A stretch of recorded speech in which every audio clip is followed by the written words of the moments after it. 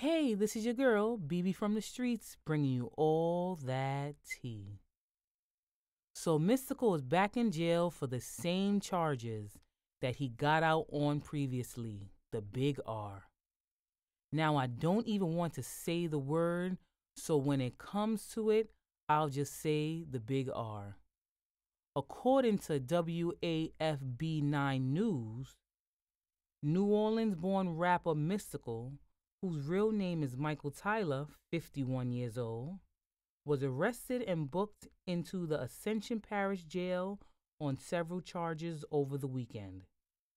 Officials say the judge is holding Tyler without bond.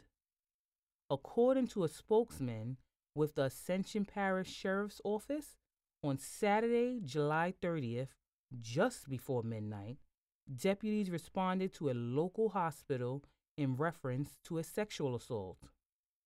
Arrest records show detectives interviewed the victim, who sustained minor injuries during the attack.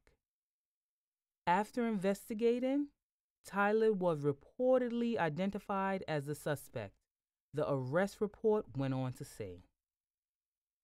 Tyler was arrested and booked into Ascension Parish Jail on Sunday, July 31st. He is facing several charges, including first degree simple robbery, domestic abuse battery, strangulation, false imprisonment, and simple criminal damage to property.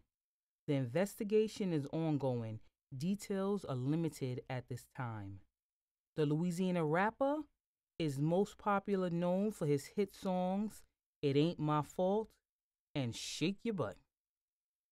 Now, even if she's lying, you shouldn't have put yourself into a situation where this could happen unless you're just a big old R.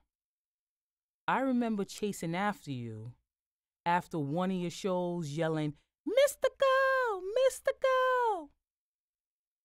Now I'm glad I didn't catch up to you. Now let me know what you guys think. Leave a comment below, hit like, share, subscribe and don't forget to ring that bell. Trying to reach 700 subscribers. Tell a friend to tell a friend to subscribe.